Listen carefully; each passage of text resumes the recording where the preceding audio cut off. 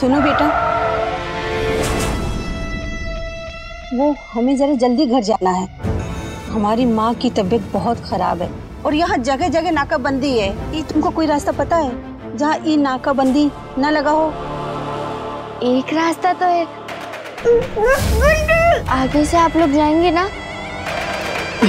ठीक है बेटा।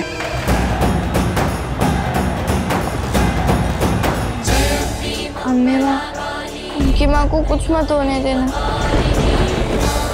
अपने दूर हो जाते तो बहुत बुरा लगता है ना? इसलिए आप दो अपनों को दूर मत करना।